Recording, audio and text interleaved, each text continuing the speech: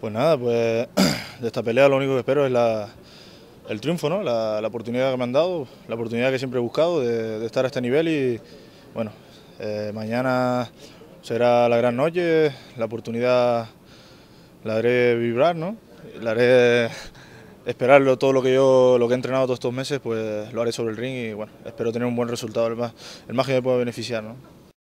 Bueno, saludar a la afición, saludar a Canarias, que saludar a toda España, que vamos a dejar el pabellón bien alto los españoles y, vamos a estar a altura y nos van a dar más oportunidades como esta a todos para, poder estar al más alto nivel en el kickboxing.